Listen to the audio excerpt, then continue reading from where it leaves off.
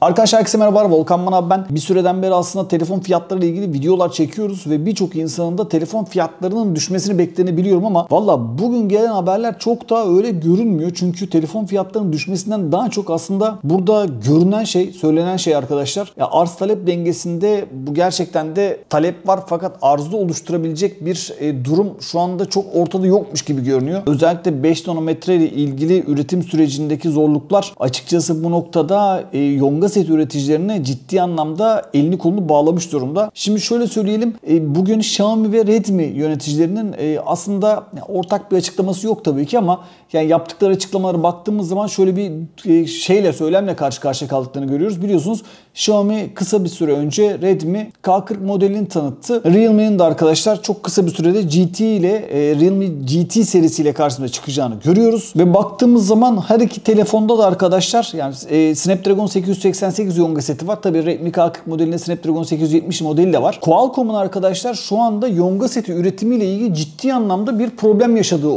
söylendi. Bundan dolayı da e, her iki markanın da yöneticiler arkadaşlar stok sorunları yaşadıklarını ve önümüzdeki dönemde bu stok sorunlarının artabileceğiyle ilgili kaygıların olduğunu görüyoruz. Yani şunu söylemekte fayda var. Stok sorunlarının olması şunun anlamına geliyor arkadaşlar. Bir ürün eğer piyasada yoksa fiyatı artar arkadaşlar. Bu çok net bir şekildedir. Atıyorum şu anda doların artmasının, e, fiyatının artmasının sebeplerinden bir tanesi doların şu anda piyasada olmamasıdır. Bununla beraber dediğim gibi bir mal ne kadar fazlaysa onun değeri de o kadar düşecektir. Burada dediğim gibi yonga seti şu anda olmadığından dolayı yonga setlerin önümüzdeki dönemde pahalılaşabileceği ile ilgili bazı dediğim gibi yorumlar var ki ben de buna kesinlikle katılıyorum. Ya baktığımız zaman çok fazla yeni telefon gelecek ve gerçekten Snapdragon 870 ve Snapdragon 888'de çok fazla yeni telefon var ve bu noktada özellikle Snapdragon 870'in üretimi tarafında ciddi anlamda aksamalara sebebiyet verebileceği söyleniyor. Çünkü çok fazla üretici bu yonga setine odaklanmış durumda.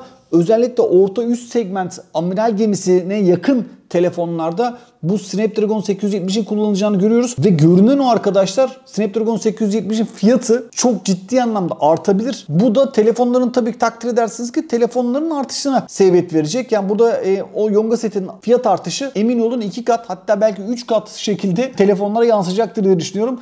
Önümüzdeki süreçte telefon bulma tarafında zorluk çekebiliriz. Bu da dediğim gibi fiyatların artmasına sebebiyet verecektir. Bununla ilgili bir bilgi geldi. Bunu da paylaşmak istedim.